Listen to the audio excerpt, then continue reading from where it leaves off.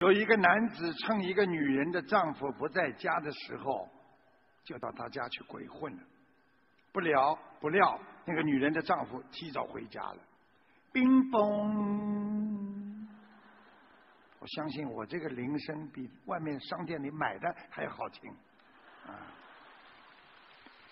按响门铃的时候，那个男的吓坏了，但女人非常冷静的说：“不要紧张，穿上衣服，等一会儿。”然后他从厨房拿出一袋垃圾，走到门口，打开门说：“啊，亲爱的，你回来了啊！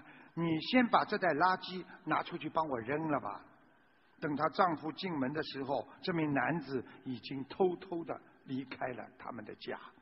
回家的路上，这个男子想：“哎呀，这个女人真是太聪明了。”他走到家门口，他也按响了自己家的门铃。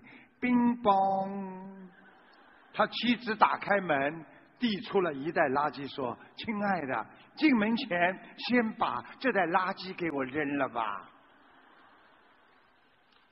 听不懂啊？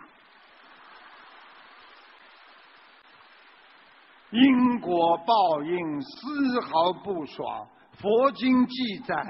父之淫，女受损；母之淫，而受害呀。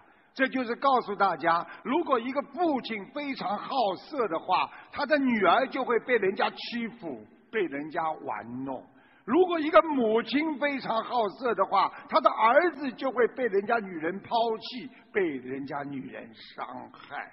所以长辈邪淫，子女会折损阴德，连累他的子孙的。